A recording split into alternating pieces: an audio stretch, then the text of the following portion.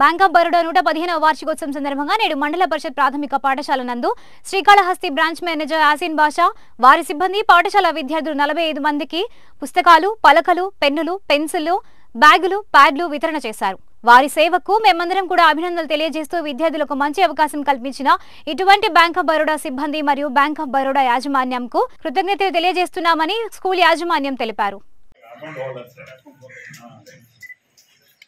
Account bank of Baroda పెట్టి నూట పదహైదు సంవత్సరాలు నూట పదహైదు సంవత్సరాలు స్టార్ట్ అయ్యి ఫౌండేషన్ డే సందర్భంగా బ్యాంక్ ఆఫ్ బరోడా ప్రతి ఫౌండేషన్ డేకి ఏదో ఒక మంచి కార్యక్రమం చేస్తూనే ఉంటుంది.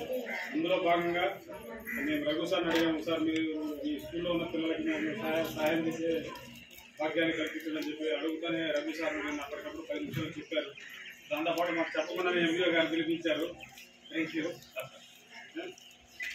ఏదో మా వల్ల బ్యాంక్ ఆఫ్ బరోడా తప్ప చిన్న సహాయాన్ని పిల్లలకి చేద్దాము. వాళ్ళకి ఏదో హెల్ప్ చేద్దాము ఉద్దేశం. స్టేషనరీ తీసుకోవడం తర్వాత బాగా చదువుకోవాలి. సమాజానికి బాగా ఉపయోగపడాలి. ఓకేనా? రాబోయే రోజుల్లో డబ్బు కన్నా కూడా చదువు చాలా ముఖ్యమైనది. చదువుకుంటే డబ్బు తనంతట అదే వస్తుంది. మన కష్టం డబ్బు రెండే మనం దారి చూపిస్తాయి. సరేనా? పేరెంట్స్ పూర్గా ఉన్నారని ఆలోచించకూడదు. నాకు ఎంత నాలెడ్జ్ ఉంది నేను ఎంత నాలెడ్జ్ గెయిన్ చేసుకున్నానే చాలా ఇంపార్టెంట్ పిల్లలకి.